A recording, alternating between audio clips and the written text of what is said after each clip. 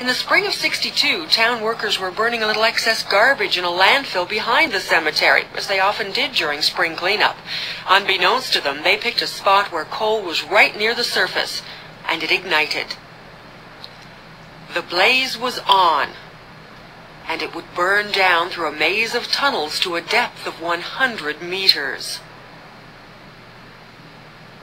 David DeKok is a reporter who's written a book about the Centralia fire it burned down and ignited uh, this coal and then burned its way down into the this vast network of abandoned mines beneath the town.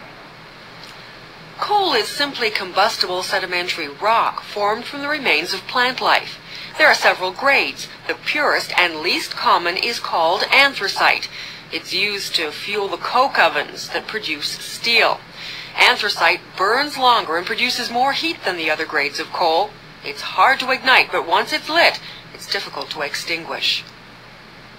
Cave-ins and fractures make the mine impossible to seal off. Long abandoned tunnels like this one in nearby Ashland ensure enough oxygen to fuel the flames for at least another hundred years.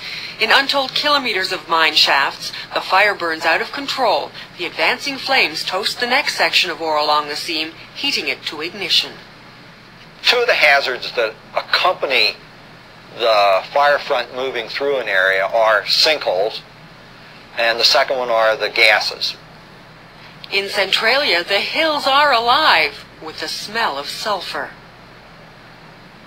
You, I think you can smell some of the rotten egg odor right now, and that's hydrogen sulfide gas coming off the uh, burning coal. Uh, there are also uh, carbon dioxide and a whole host of uh, ethanes and methanes and pentanes and things like that coming off in much sw uh, smaller quantities. The heat is intense enough to produce ripples in the air. Jones and his assistant monitor the ground temperature. We're at uh, about 447 degrees uh, Celsius right now. That probe's only in the ground about a foot. We conducted our own experiment to illustrate the extreme surface heat. We found a hot spot and left a pair of old shoes while Jones continued his tour. The, the roads actually subsided from clear up around the curve up there, where the where the uh, seam outcrops, clear down through this area, and down uh, well beyond Tim there, you can see uh, undulations in the roadway down there, probably another 150 yards. The old road into town looks like it's been hit by an earthquake. It's so hot for kicks, people burn logs in the huge cracks in the asphalt. Many of the coal seams below ground run at steep angles or pitches, so when they burn, the ground above collapses. It's called subsidence, and anything on the surface can fall into the pit, including buildings, cars, and trees. The road is actively subsiding. Subsidence cave in. For the technical amongst us, we like subsidence.